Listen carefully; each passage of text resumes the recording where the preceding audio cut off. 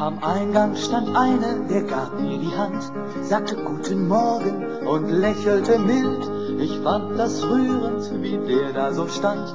Das war ein richtig sonntägliches Bild. Kaum war ich an ihm vorbeigezogen, vorbei an zwei Körbchen noch ungefüllt. Da wurde ich von mächtigen Orgelbogen in die dritte Bank von hinten gespült. Bank ist uralt und steinhart und sie knarrt, wenn ich nach dem Rechten sehe und nach dem Linken. Durch Fensterapostel fällt bunt das Licht und halb wachend, halb träumend sehe ich einen Heiligen winken. Dem Mann im Talar sitzt das Äffchen schief und seine Stimme hat näselnden Klang. Und wenn er mal schweigt, dann atme ich tief, denn dann sind wir wieder dran mit Gesang. Hat sich da nicht eben die Orgel verspielt und außerdem ist sie uns immer voraus. Kein Wunder, dass man sich nicht wohl dabei fühlt und auch auf der Bank halte ich's nicht mehr aus, denn die Bank ist uralt und steinhart und sie knarrt, wenn ich nach dem Rechten sehe und nach dem Linken. Durch Fensterapostel fällt bunt das Licht und halb wachend, halb träumend sehe ich einen Heiligen winken.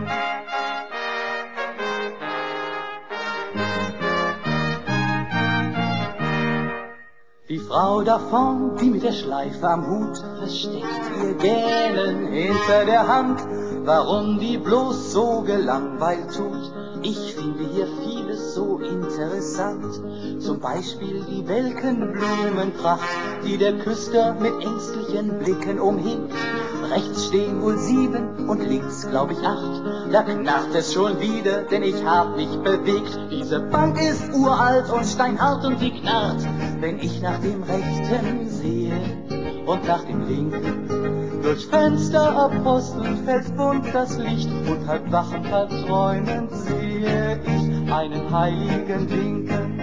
Ob die Predigt nicht etwas kürzer sein kann, im Geiste ring ich schon langsam die Hände. Ich wünschte, die ließen mich da mal ran, ich wär schon nach zwei bis drei Sätzen am Ende. Was hat er jetzt eben von Sünde gesagt und von Vergebung, von Lob und von Dank?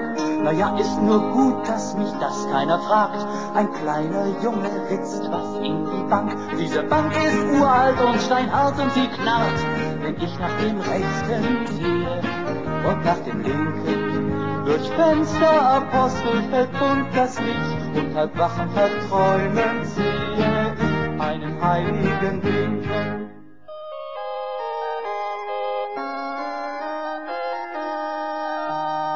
Was wird es wohl heute zum Mittag geben? Bestimmt etwas Gutes und danach werd ich dann mich für ein Weilchen zur Ruhe begeben, weil ich das sonst in der Woche nicht kann. Nun stehen wir wieder, es ist wohl bald Schluss, da ertönt schon der erste Glockenschlag und der klingt so schön, dass ich denken muss, war das ein erbaulicher Vormittag. Nur die Bank war uralt und steinhart und sie knarrte, wenn ich nach dem Rechten sah und nach dem Linken.